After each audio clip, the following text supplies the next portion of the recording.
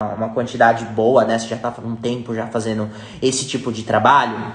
Eu acho muito legal você fazer começar a investir, não sei se já está fazendo, que é começar a investir em tráfego também, né? Quem está um pouquinho mais avançado pode começar a patrocinar posts, né? Lógico, façam um curso sobre isso, aprendam sobre isso, porque não é só jogar dinheiro e clicar lá no promover do Instagram, tá bom? Não, não promovam fotos no Instagram. Ah, vou jogar um dinheiro ali para promover no Instagram. Não é assim que faz, tá? Existem outras técnicas que seu dinheiro rende muito mais fazendo isso, tá bom? Então, naquele promover, ele joga aleatório para as pessoas, né? Você não consegue direcionar um público tão bem.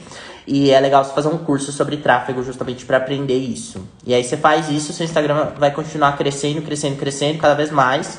E é isso, tá?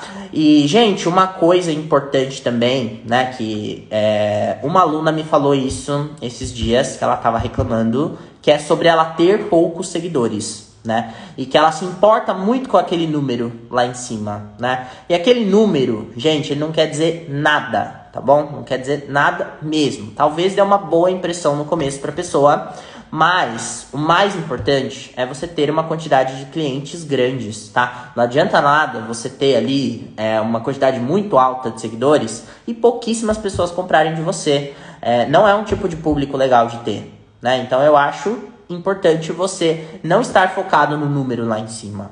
Foca na parte do engajamento, foca nos comentários que as pessoas fazem com você. Faz análise, né? O perfil, o perfil profissional, quando você coloca lá profissional, você consegue analisar várias métricas e pelo menos uma vez por mês é bom você estar tá lá de olho para ver o que está dando mais certo, o que está dando mais errado, o que é bom você parar de fazer, o que é bom você começar a fazer para melhorar. E são coisas importantes, né? Vou dar um exemplo aqui, por exemplo. Eu tô postando Reels. Aí eu vi que o meu Reels parou um pouco de, de, de dar o engajamento que eu estava esperando. E aí, como eu vi que ele deu uma caída, eu falei, vamos analisar e ver o tipo de post, né? Aí eu descobri que no Reels a gente tem que usar as músicas que estão em alta, né? Então, desculpa pessoas que amam os rocks que eu posto e amam as músicas que eu gosto, que são os rocks mas essas músicas não ficam em alta. E isso diminui o engajamento do meu trabalho. Então, eu fiz essa análise, fiz, fiz um. Fiz dois. Fiquei um mês fazendo teste, né, sobre isso. E aí eu vi que o problema estava na música e também algumas formas que eu estava gravando, né? Existem várias técnicas para fazer esse tipo de coisa, né? E existem cursos pra gente aprender mais sobre isso.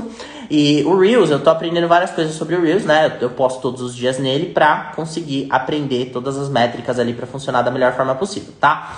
Então eu vi que eu coloco um, um rock muito específico, né? É, eu coloco tipo, eu coloco um Scorpions, eu coloco um Led Zeppelin, eu coloco um, um rock que eu gosto de verdade, um David Bowie, é, não dá tanto resultado igual eu colocar, é, por exemplo, essas musiquinhas que estão super em alta, né? Lógico, que nem eu não gosto muito que toque aqueles funk. Os hip hop eu até gosto, né? Mas eu não acho que combina muito o meu trabalho. Mas eu vou começar a usar porque a gente tem que ter aquela humildade de pensar assim, ó, vamos fazer o que está, o que está ajudando, tá bom? A Tati falou tem que postar Girl From Real da Anitta. Gente, tá super em alta essa música. E eu postei no TikTok e deu um negócio muito forte ali. No Instagram não postei, mas no TikTok eu deixo mais livre pra eu jogando as coisas aleatoriamente, né? Porque meu perfil é novo no TikTok. É, e, e, tipo assim, deu super certo, né? Então, assim, gente, não adianta bater a cabeça na parede também. E às vezes a gente quer fazer uma coisa muito conceito, muito conceito, e não é o que o público quer, entendeu? Então, é bom a gente ter essa humildade, tipo, poxa, queria botar só rockzão, pesadão, queria colocar só é, queria colocar só Dragon Force, só David Bowie, só, só esse tipo de coisa, mas não é, gente. A gente tem que seguir de acordo com. De acordo com as coisas que funcionam bem pra gente, né? E não tem por que a gente não seguir por um caminho onde rende mais, cresce mais e alcança mais pessoas.